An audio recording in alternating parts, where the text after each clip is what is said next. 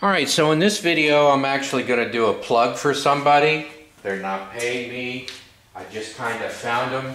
I was going to replace the badge on this car, but it's really expensive. I think it's 60 or 70 dollars. It might even be more than that, especially if you add shipping and handling.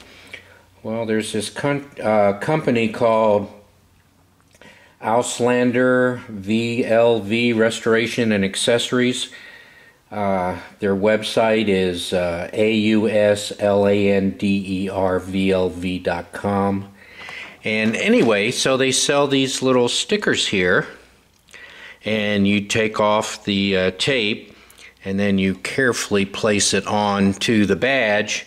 And then you basically have a new uh, badge as opposed to taking this one off and installing a new one. So let me get this on here and I'll show it to you. Alright, it's one of these things where you just have one shot at it, so you got to get it right the first time, or you are screwed. But there we go.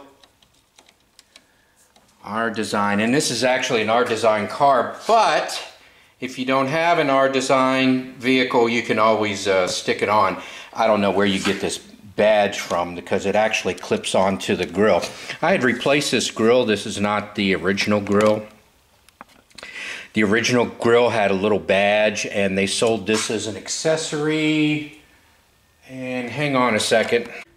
I happen to have one. I don't know if this is the original one that came with the car because uh, with this accessory, the entire grill was replaced. And then the badge over here, that just came off. You just unhook it in the back. There's a clip on there and it pops off, you know, the plastic little clips. And then you just click it on to the new one. Um, I also found two numbers on this grill. One was a R design and one wasn't. So I assume the R design one comes with the badge. I bought the one without the badge because I already had one. but it faded and now it is restored. So uh, check these people out. I'll put their name in the description. They aren't paying me. They didn't ask me for anything.